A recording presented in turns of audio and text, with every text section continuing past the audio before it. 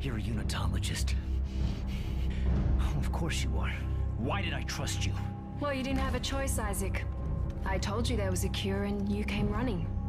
Why are you doing this? Why can't everyone just leave me alone, huh?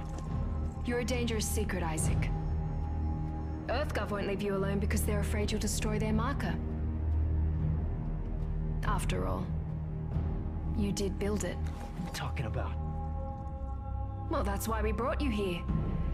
To build markers for us. To spread glorious convergence to the entire galaxy. You people are unbelievable! Just give me the fucking cure and let me go. Oh, we don't want to cure you, Isaac. We need that precious little head of yours just the way it is.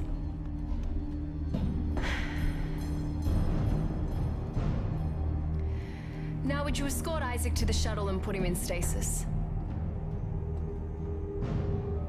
Last thing we want is for him to die.